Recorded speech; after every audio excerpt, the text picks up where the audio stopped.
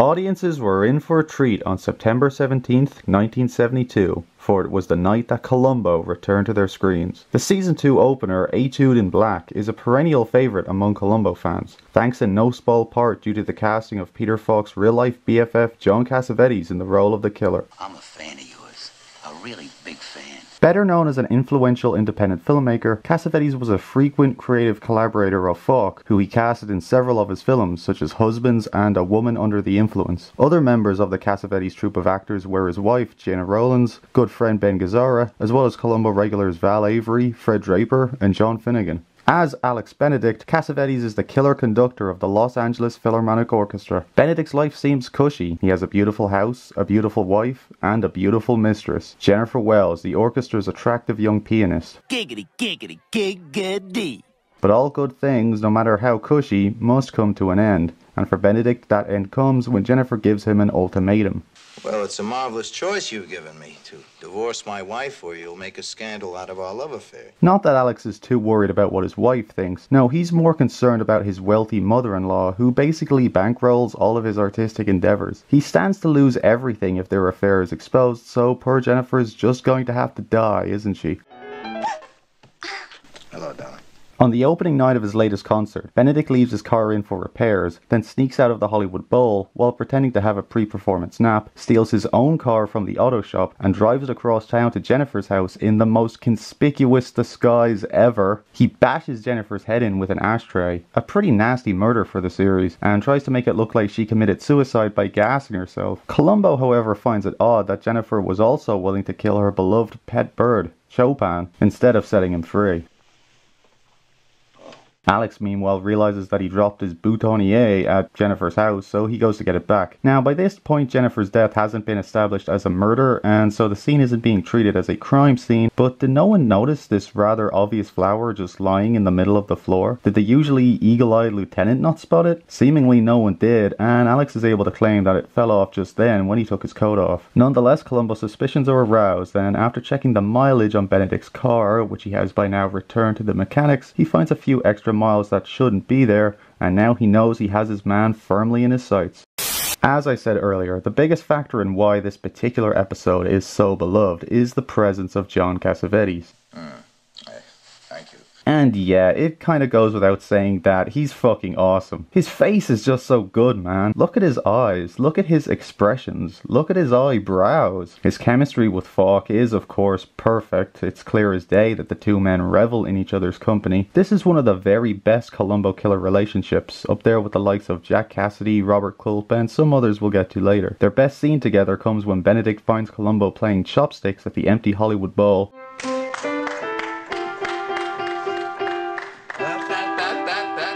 Then they engage in a hypothetical debate about Jennifer's death, which is very evocative of that classic prescription murder scene. Suppose it was you. I heard you say something, but I wasn't sure what I you said, said. suppose it was you. I'm not saying it was you, sir. No, I was just thinking out loud. You know you're an audacious fella. Speaking of music, quick sidebar here. Those of you who have been watching this series as a series may have noticed the lack of background music in this review and my review of the pilots. When I did have background music in my season 1 reviews, honestly, adding the music was always the last part of the edit in those reviews and were always my least favorite part of that process. So when it came time for me to start editing this new season of reviews, my heart just wasn't in trying to find uh, the right kind of music to match up with the different points I was making at different times. Uh, because I think uh, when I look at the season one reviews anyway, uh, it's kind of hit or miss as to whether that actually works. So I just decided to bite the bullet and not bother doing it, uh, which will always be a little bit frustrating for me because it, now it means that my series, the Columbo Guide, will be a bit inconsistent. But consistency was literally never my strong point, so I suppose it's not that big a surprise. Anyway, I just wanted to flag that in case anyone was wondering, but I imagine no one is. So for those of you who don't give a shit, uh, on with the review. The two leads are further bolstered by a strong supporting cast. The great Myrna Loy appears as Benedict's mother-in-law, and Myrna Loy is always awesome. I would have liked to see her play a murderer herself, as she certainly has the gravitas, the intimidating presence, and acting chops to pull it off, but alas, it never happened. Lieutenant Columbo? Are you there? Alex's wife Janice Benedict is played by Blythe Danner, simultaneously vulnerable and strong. You can see how much she suspects her husband of being unfaithful and is trying oh so hard to convince herself it's not true, but encounters an increasing mountain of evidence at every turn. Operator, I've been trying to reach 555 7921 for quite some time now. The line's been busy. It's heartbreaking stuff, really, but you do get the sense that she's got it together just enough that she can survive the breakdown of her marriage and not let it cast a shadow over the rest of her life. Some fun trivia for you Danner was pregnant during production with Gwyneth Paltrow, so there's a celebrity cameo I bet you didn't know Columbo had. What is it called again? It's called This Smells Like My Vagina. And I can't not mention that this is the first episode to feature Columbo's beloved canine sidekick, a hopelessly lazy basset hound the lieutenant just picked up from the pound. Throughout the episode, Columbo struggles to come up with a name for the big lump, but eventually figures that he's been calling him Dog for so long that he may as well just stick to that. Aside from Columbo himself, Dog would go on to become the most frequently recurring character on the series. I wouldn't have it any other way. Beethoven. Would you like to be called Beethoven? Hmm? I guess not. Through Dog, Columbo strikes up an unlikely friendship with a little girl who lives next door to Jennifer. A lot of people find her to be annoying, but I don't mind her, and I actually think some of the moments between her and Columbo are quite funny. How would you like it if somebody locked you up like that? With the windows closed and everything. Well, I didn't want him to get out.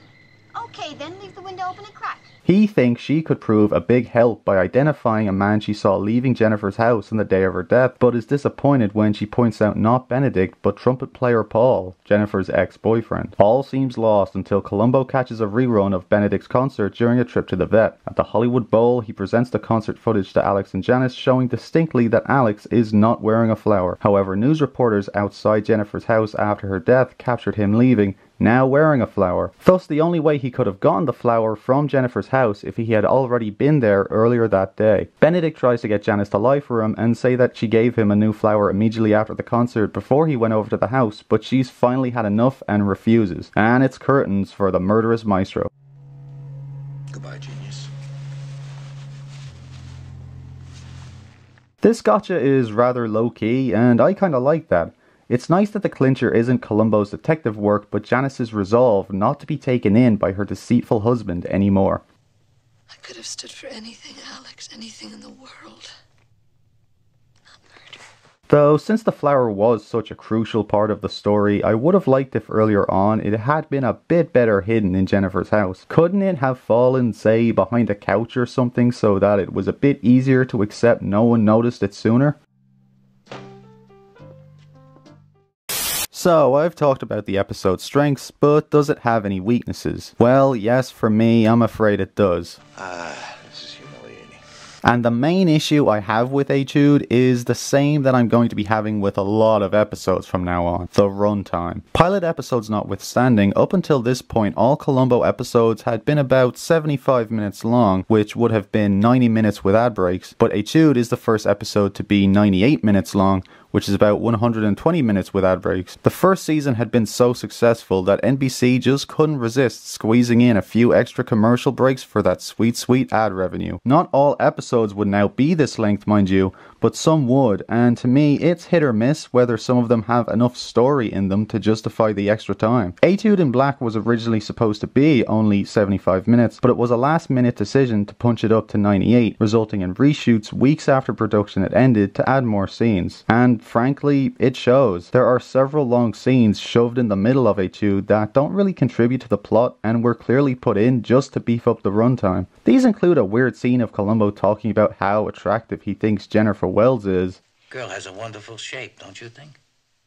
Look at those eyes. Bedroom eyes. and a scene where he visits the Benedict home. The fact that this was shot weeks after everything else is evident thanks to Cassavetes' sudden change in haircut. I will admit though, this scene where Columbo was trying to deduce how much Benedict makes in a year without outright asking him is pretty fun. Three times 18, carry the 24, seven down, bring down a zero. Place cost you 720000 750,000.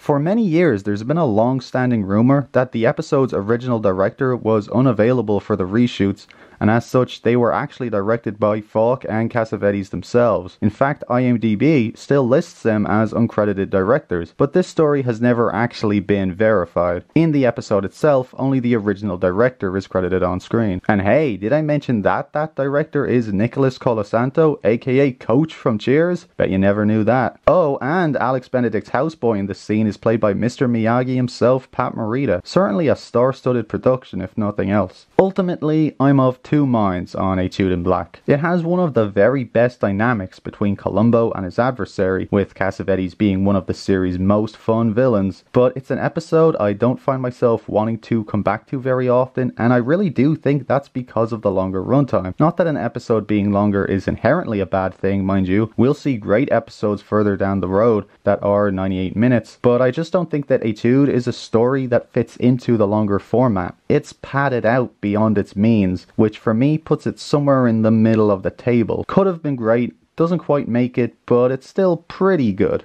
Oh, and just one more thing, since when else am I going to get a chance to talk about this? In 1970, to promote their new film Husbands, Falk, Cassavetes, and Ben Gazzara went on the Dick Cavett show for an interview. There was just one problem. They were all drunk out of their minds. Benny? And I, I don't want to look to see what's happened over there. Ben? Has one of my guests nodded off? Ben? The film is terrific. Come and see this film. It is the greatest film ever made.